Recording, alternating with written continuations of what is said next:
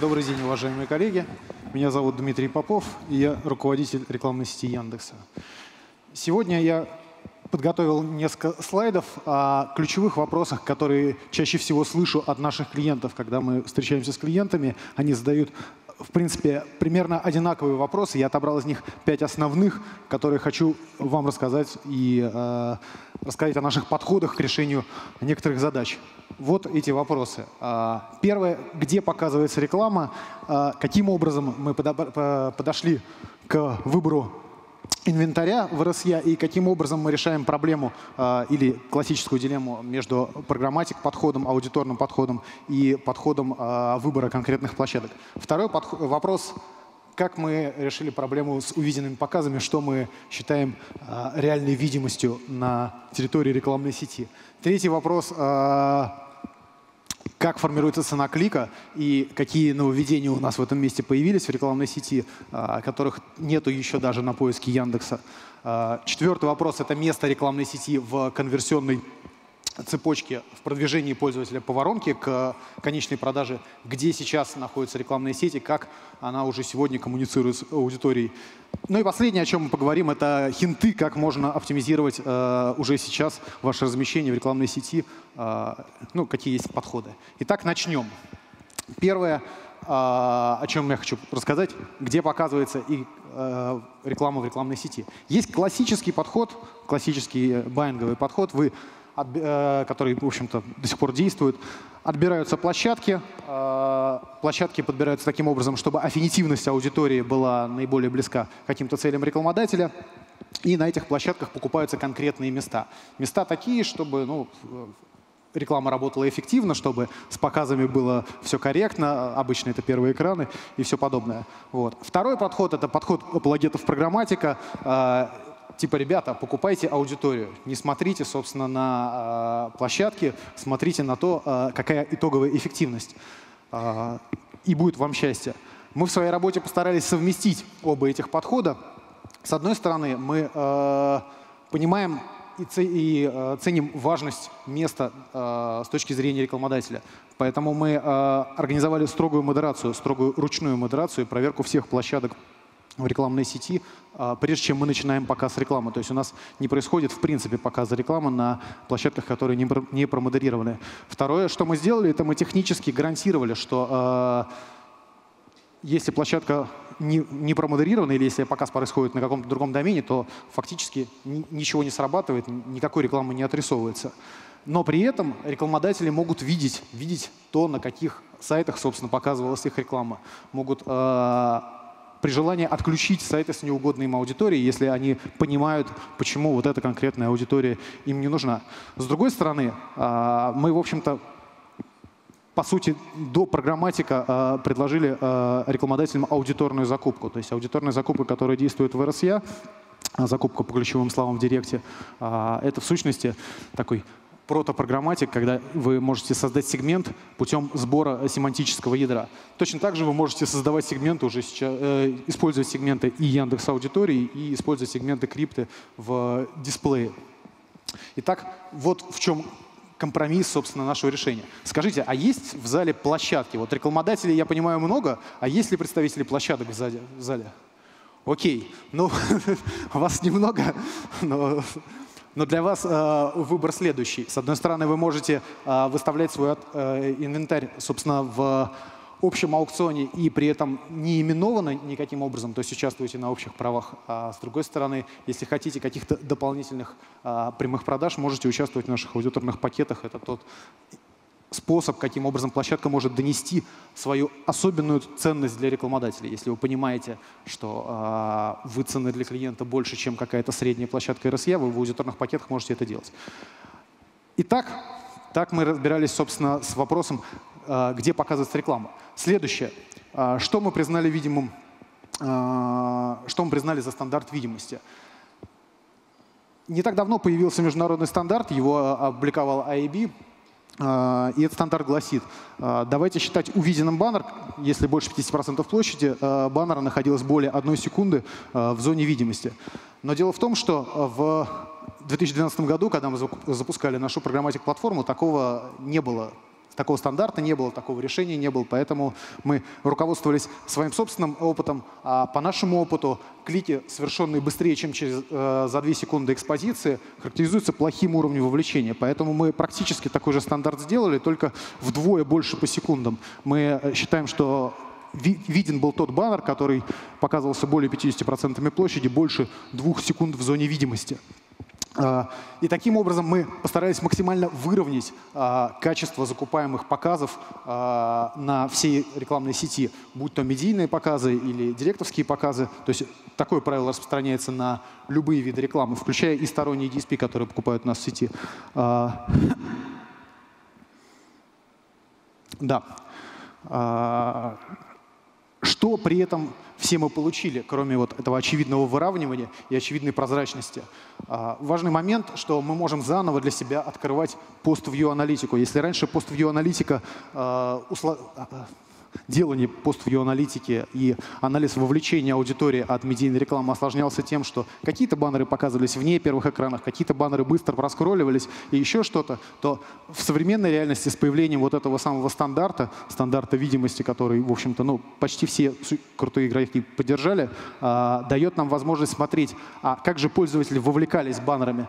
То есть мы теперь можем делать не только пост-клик-анализ, которым, собственно, все уже занимаются, но и заново открывать для себя пост-вью, смотреть, а, как аудитория реагировала на коммуникацию. Это очень такой интересный момент, которым можно пользоваться. Следующее, про что я хочу вам сегодня рассказать, а, как формируется цена клика в RSA.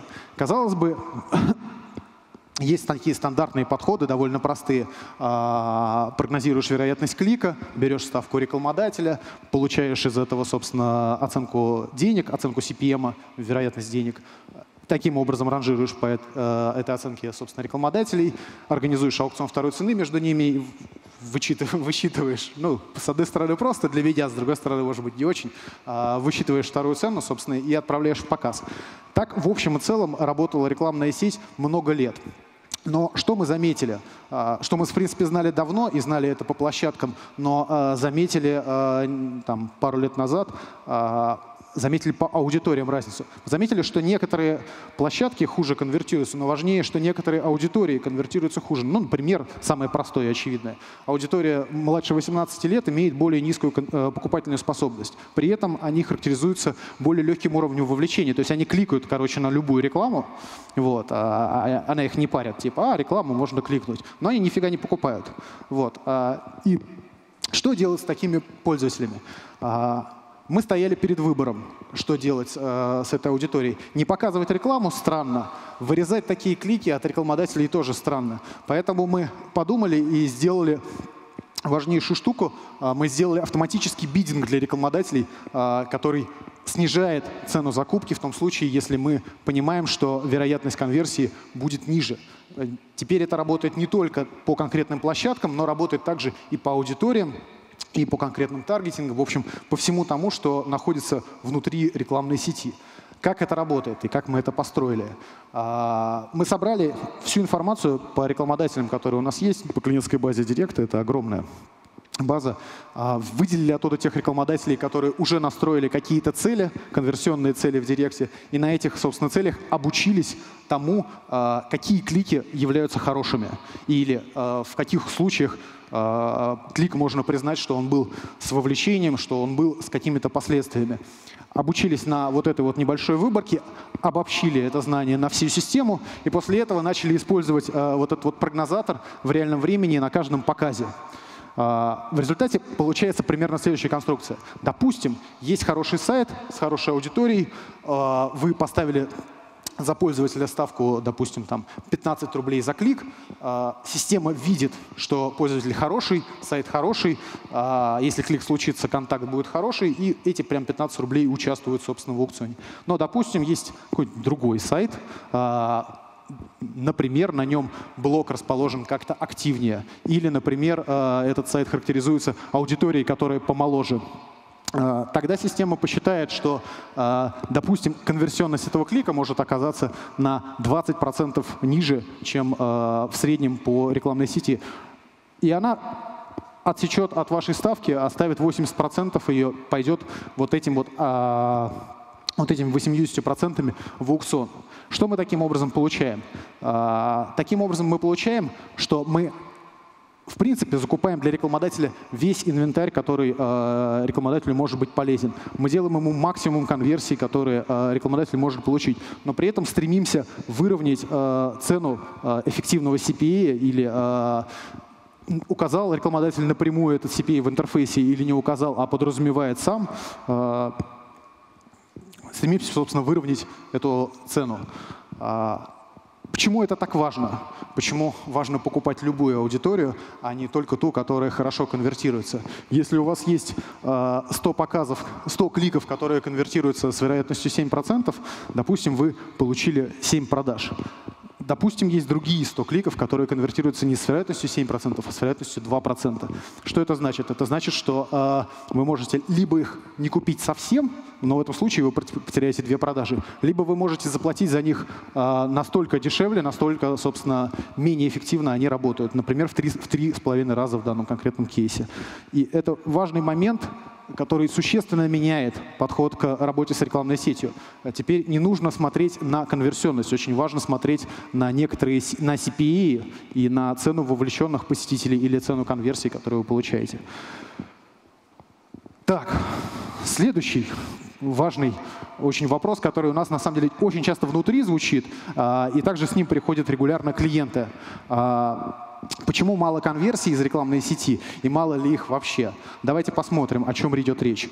А, обычно сравнение, когда мы говорим о том, а, мало-много конверсий, собственно, из рекламной сети, сравнение идет с поиском, с поиском Яндекса. Ну, внутри директа обычно происходит сравнение. Так вот, сегодня цифра такова. А, на две конверсии из большого поиска происходит примерно одна конверсия из RSA. Вот эти конверсии — это конверсии, посчитанные по целям рекламодателей директа, а, по всем целям, которые они указали в рамках, внутри стратегии, то есть это то, что мы называем внутри себя золотые цели, цели, которые рекламодатели оптимизируют в CPA. А, и они посчитаны в модели атрибуции «последний клик». А, что, что, о чем говорит эта цифра? О том, что сеть уже сегодня генерирует огромный объем продаж, а, ну, не просто сопоставимый с поиском, а вполне себе значимый вклад делает в общий поток конверсии каждого конкретного клиента. С другой стороны, к нам приходил клиент, а, который спрашивал, э, типа, вот, ребята, у меня а, конверсионность 1% а, из рекламной сети, а на поиске у меня конверсионность повыше. Конверсионность 1% в модели последнего клика атрибуция на поиске, у нас э, у меня конверсионность повыше. И мы проанализировали, каким образом сеть уже сейчас, э, сегодня коммуницирует с его аудиторией. Обнаружили, что э, сеть участвует не только в последней продаже или не только в последнем так сказать, проведении пользователя к корзине, но и вовлекает пользователя в покупку на ранних этапах, вплоть до того, что сеть зачастую является э, первым генератором клика, когда э, пользователь впервые попадает на сайт клиента. Также сеть э, эффективно позволяет работать э, с теми пользователями, которые у вас уже купили. То есть вы купили, э, вы продали клиенту какой-то товар через там, э, условно две недели, через месяц. У него случается вторая зарплата, он э, следующая зарплата в смысле, он понимает ценность товара, у него позитивная ассоциация с вами, и вы вполне себе можете продать ему э, еще один товар или оказать какую-то дополнительную услугу, если вам это интересно. Так вот, анализируя, собственно, а, того клиента, мы показали ему, что, ребята, вот смотрите, у вас 1% конверсионность, если смотреть в модели последний клик, 2% конверсионность, если смотреть в модели последний значимый клик, а если смотреть все ассоциированные конверсии, то там получалась конверсионность больше 5%. То есть рекламная сеть оказывала существенный вклад в общий объем продаж, который происходил у этого клиента, и э, находилась на разных этапах э, создания ценности в голове посетителя, э, создания ценности этого бренда. К чему все это? К тому, что, э, что мы рекомендовали, по сути, клиенту. Мы рекомендовали ему э, четко разделяться по компаниям, то есть понимать, э, какую аудиторию, где он покупает. Где он покупает аудиторию, которая впервые приходит на его сайт и которой важно э, первый раз э, что-то рассказать и донести какие-то ценности э, того, что вы предлагаете. Где он покупает аудиторию, которая уже была у него на сайте и которой нужно на самом деле напомнить, что, ребята, вы у меня только что это смотрели, собственно, а, купите еще. И настроить корректные цели а, для этих компаний. А, Все остальное сделает машинка. Все остальное, собственно, делают автоматические стратегии, которые есть в Директе. Настраиваете цель, выставляете цену конверсии и получаете результат. Теперь следующий важный момент, э, который я хотел с вами сегодня рассказать, это как повысить эффективность. На самом деле он в продолжении предыдущего кейса. Э, итак, рассмотрим ситуацию. Э, допустим, есть какая-то тематика, например, недвижимость, где цикл принятия решения длинный, где покупка не происходит в один клик. А таких, на самом деле, тематик довольно много. То есть быстро покупают только относительно дешевые товары. Если товар дорогой, то покупка, то человек созревает в покупке, человек накапливает желание и после этого в конечном счете его реализует. Каким образом делать оптимизацию рекламы, оптимизацию в, реклам, в рекламной сети, да и в других, на самом деле, системах, а, работая на этапе вовлечения, на этапе а, первичной первичного информирования пользователя. А, с одной стороны, можно прибегать к медийной рекламе, но можно также работать уже сейчас и в контексте. Есть простой способ, который я вам хочу показать. А, попробуйте оптимизировать вовлеченных посетителей. То, что вы можете сделать уже сейчас. Кто такие вовлеченные посетители? Да, в общем-то, ну, вы сами можете их определить. А, у кого-то вовлеченные посетители это будут те, кто просмотрел три больше товара. У кого-то вовлеченные посетители будут те, кто а, сделал какие-то сравнения, кто зашел на страницу «Наш адрес», допустим, кто посетил э, информацию о доставке. У кого-то вовлеченные посетители будут люди, которые посмотрели сеть, карту салонов или еще что-то. В общем, а, определите для себя, что есть вовлеченный посетитель. Самый простой способ, э, который мы иной раз используем внутри, определять вовлеченных посетителей как людей, бывших на сайте больше двух минут, две и более минуты. Если человек две, две минуты пробыл у вас на сайте, наверное, что-то его заинтересовало, и, наверное, каким-то образом он вовлекся, дальше вам будет легче с ним коммуницировать. После этого вы можете максимизировать количество таких вовлеченных посетителей. То есть это не э, продавать напрямую, то есть в смысле не э, делать продажу прямо в последнем клике, э, не делать корзину в последнем клике, но при этом и не закупать клики в целом, и не закупать трафик. Это промежуточная такая стадия. Вы оптимизируете вовлеченных посетителей, оптимизируете тех, кто в конечном счете будет продвигаться вниз по воронке. Как определить цену? Очень просто. Посмотрите на текущие компании по директу. Вы создали такую цель э, в метрике. Посмотрите э, по тем компаниям, которые вас устраивают, а какая цена вовлеченного посетителя у вас в среднем получалась. И эту цену используйте для следующих компаний, используйте прямо в автоматических стратегиях. То есть э, создавайте компанию, собственно, э, выставляете цель вовлеченные посетители, выставляете там эту цену. Таким образом будете получать максимум конверсий, максимум вовлеченных посетителей, которые в конечном счете будут э, проходить конверсия. Итак, ключевые вопросы, которые я сегодня осветил, это э, как мы решали проблему с э, аудиторной закупкой и закупкой конкретных мест, что мы модерируем э, все площадки с одной стороны, с другой стороны обеспечиваем рекламодателям таргетинги по аудиториям.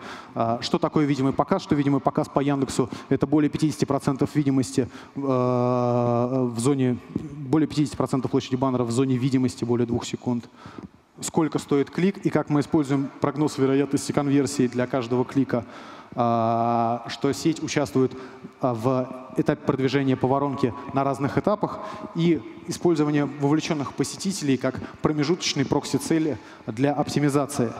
Что из всего этого вытекает? Из всего этого вытекает следующее а, важное не то чтобы событие, а то, что уже состоялось. Сеть стала отдельным каналом для привлечения аудитории наряду с поиском и э, другими каналами.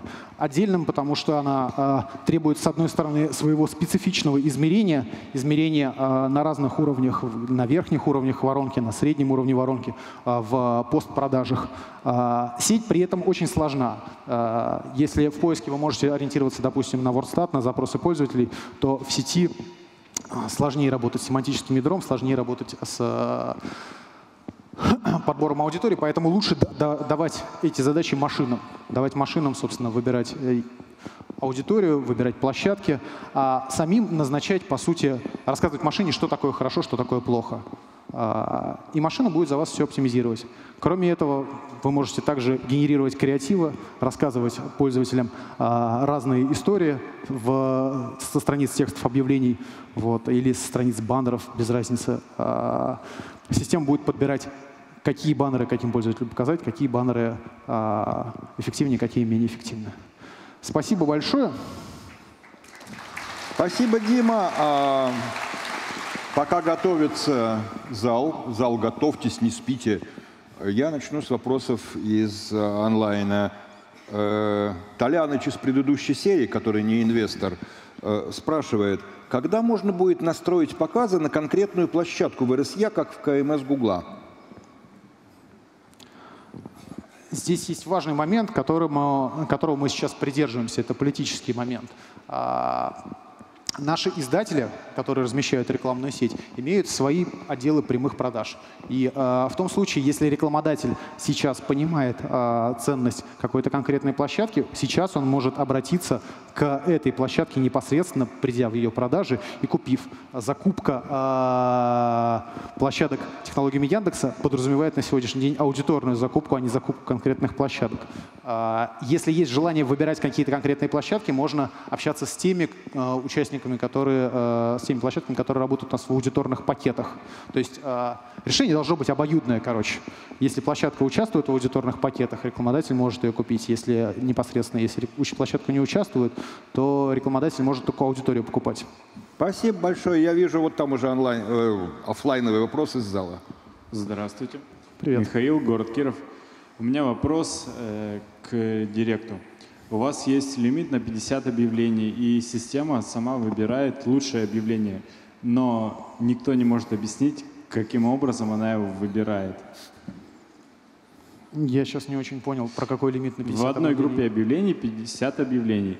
И когда мы смотрим, как они откручиваются, мы не понимаем, почему выбрано именно там одно-два объявления, и они чаще всего показываются. Нет возможности сделать равномерное чередование. Зачем вы так делаете? Очень, ответ очень простой. А, смотрите, если вы делаете равномерное чередование, очевидно, что какие-то объявления являются лучше, э, работают лучше, какие-то работают хуже. Так вот, для нас, как для а, держателей инвентаря, те объявления, которые работают хуже, это прямо, э, прямая недополученная выручка или недополученный перформанс для вас. Поэтому задача наша следующая. Максимально быстро принять решение, какое из этих объявлений действительно лучшее. Вот. И сейчас алгоритмы построены так, что они действительно стремятся выбрать это, сделать этот выбор раньше, чем поймете вы. Это не всегда понятно. Вот. Это касается поиска Яндекса. А, что касается рекламной сети, то там там сейчас АБ-тестинг работает несколько иначе, и а, там возможны, собственно, проблемы. Вот. Я так скажу. Спасибо. Э, чередуем. Сейчас вопрос из онлайна, потом вопрос уйдет вот туда. А, вопрос из а, онлайна от Андрея Шумакова. А как часто повторно модерируются площадки для РСЯ? А то, например, существует форум, на котором э, просто тупо было написано «кликай здесь, помоги форуму». Э, напишите в саппорт. Говорит, писал форум по-прежнему существует с этой же штукой, поэтому спрашиваю. Окей, хорошо, я поищу. На самом деле, э, вообще-то модерируется регулярно, и э, случаев, когда э, жалуются, что помогите форуму, сделайте клик, этот случай прямо запрещен правилами участия в рекламной сети, поэтому мы с таким товарищем расстанемся обязательно. Вот. То, что, видимо, сейчас сигнал каким-то образом не прошел, но таких ребят мы не держим. Понятно. Напишите, пожалуйста, еще раз, уважаемый тезка, Вопрос вот в той части зала. Я бы даже допол дополнил еще предыдущему. Э, Может быть, такой форум-то и есть, но важный момент, э, из чего состоит основной трафик рекламной сети. Основной трафик рекламной сети приходит с инвентаря Яндекса и с инвентаря крупнейших партнеров э, рекламной сети. Это, собственно, компания известная Дим, Mail.ru. Дим, спасибо. Я думаю, Правда. ты убедительно ответил. Давай все-таки дадим возможность человеку задать вопрос следующий. Добрый Да. день, меня зовут Роман. Вопрос. Не так давно Яндекс ввел широкоформатные баннеры, он расширяет свою линейку. А, у меня вопрос по ним. Насколько эффективно они работают, какие места показывают, потому что я их редко вижу, можно сказать, вообще не вижу. Вот. Спасибо. О каком широкоформатном баннере речь? Ну, есть обычный квадрат, а Да. не так давно появ- появился, по-моему, 1 на 16, по-моему, такой вот, такая растяжка. А, все, я понял, о чем речь. А, Смотрите, это а, во многом инвестиция в будущее. То есть в данный момент а, широкоформатные картинки 16 на 9 используются в фиксированных форматах 240 на 400, 300 на 250. Преимущественно они используются, в смысле, по сравнению с другими. А, Текущих цифр по перформансу ну, у меня есть, но они пока не показательные, в смысле, это не- неинтересные цифры. А, Важно, что будет. Мы готовим форматы а, специально для вот этих вот форм-факторов 16 на 9, поэтому чем быстрее вы их зальете, тем больше вы профита получите на запуске. Вот. Сейчас это работает в небольшом количестве блоков рекламной сети. Спасибо большое. Вот вопрос. Добрый день. молодой человек. Денис, город Орел. А, При каких критериях а, вот в вашей терминологии клик считается хорошим? То есть что я как пользователь должен делать, чтобы система меня считала хорошим? А а чем вы занимаетесь? Можно вопрос? См- Смотрите, значит. Вообще это машинное обучение. То есть э, там Черный ящик. больше, да, больше 160 факторов в лоб, которые используются. Вот. Есть еще косвенные факторы, из которых, собственно, эти 160 варятся. Вот. А, И важно не то, а, каким критериям оно сработало, а то, как мы его обучали. Обучали мы его на реальных конверсиях, которые, собственно, рекламодатели настраивают в Директе. То есть это ну, фактически корзины, заказы, еще что-то. Мы обучали на том, что действительно сработало. Вот это, вот. А дальше машинка сама выделила, что вот эти вот, значит, действия, они хорошие, а эти действия, они не очень хорошие. Вот. Что там? Да там полно всего. Значит, вот самые простые вещи я рассказал. Это но есть вопросы с региональностью и э, возраст. Возраст очень сильная история. 18 минус э, прям типа первое, за что надо снижать ставки. Скажите, а допустим, если а, конкурент а, заходит, там, скликивает что-нибудь, вот вы будете ставки понижать таким... а, Мы это не будем засчитывать. а, мгм. То есть э, есть часть, которая занимается уборкой фрода, есть часть, которая занимается выравниванием качества. Часть, которая занимается уборкой фрода, она убирает э, конкурентные клики. Так, я вот там вижу девушку, которая прям в руке микрофон. А, Воспользуйтесь да. Добрый им. день, Елена. Я бы хотела расширить немного первый вопрос. То есть, если мы говорим про э, таргетинг на конкретные площадки, по политическим причинам это сделать нельзя. Когда появится возможность исключать категории отдельные площадок, ну, хотя бы в формате мобильные площадки, там, игровые какие-то ресурсы, по категориям, как это в э, Дворце, например, существует? Мы исходим все-таки... Смотрите, если говорить про мобильные площадки, то у вас есть мобильные устройства, на которые вы можете выставлять коэффициенты. На них можно уже с э, сейчас. мобильного браузера зайти и откроется мобильный сайт. Мобильные устройства, они работают и в брау- на браузер, и на мобильное приложение, они на все распространяются. То есть Ну хорошо, давайте возьмем другой пример. Если у нас, допустим, э, компания имеет какую-то четкую целевую аудиторию, мы понимаем, что ей не очень интересно э, показываться в РСЯ на конкретные категории сайтов. Мы не можем исключить это сейчас в автоматическом режиме. Приходится постоянную работу проводить по чистке площадок. А как, какой пример вы можете привести? Пример каких Ну, пример, пару месяцев назад э, Яндекс выкатил, не знаю, порядка 200 площадок очень низкого качества, которые приходилось через персонального менеджера отключать. Вот банальный пример такой. Смотрите, значит, тут про низкое качество площадок и про конверсионность. Важный момент был в докладе. А, надо не на конверсионность смотреть, а на цену конечного действия. Мы отстраиваем систему таким образом, чтобы цена конечного действия соответствовала. То есть, если, условно говоря, вы получаете клики с площадки, которая низкоконверсионна, вы, э, мы строим систему так, чтобы вы получали эти клики там, вдвое, втрое дешевле, чем клики э, с хороших площадок. Это целенаправленное действие, чтобы вы при этом не теряли этот трафик. Поэтому выключать полностью Ну, трафик это история не перформанс-маркетинга, это трафиковая история. Как, как быть вот перформанс-агентством, допустим, в этой истории, и, и чтобы не сажать специального человека, который будет заниматься чисткой площадок. пока сажать специального человека, Либо воспользоваться другим инструментом, если это не На самом деле мы, конечно, готовим некоторые запуски. Вот. а, Есть некоторое количество тематик, которые мы дадим отключать рекламодателям. Вот. Их около 13 штук. Но вы сейчас не назвали эти тематики. Я проверял. То, то есть, то, что я вас спросил, это... Так, спасибо большое. Простите, я все-таки и так не всем даю слово. Вот там в конце последний вопрос, к сожалению, последний, мы иначе чего-то не услышим А, дальше. Здравствуйте, Дмитрий. Спасибо большое. Алия, снова интернет-магазин «Ковка станки». У меня вопрос такой про цену клика. Э, На поиске, в общем-то, все понятно. Акцион. Э, Что происходит в РСЯ? Э, Каким образом она формируется? И когда, допустим, нет какой-то статистики, да, и у нас нет базовой стоимости, от которой можно отталкиваться, к чему стоит Толь- привязываться? Только экспериментально. На сегодняшний день только экспериментально. То есть начинаете э, использовать те ставки, которые вам комфортны на поиске, а, или берете, например, а, среднестатистическую цену списания на поиске, цена клика, которая фактически у вас получалась на поиске, начинаете использовать ее в качестве ставки в рекламной сети, а а дальше смотреть, подходит, не подходит по конверсионности.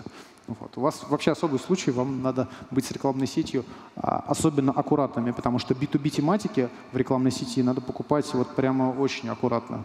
Мы обжигались на, а, как они называются-то?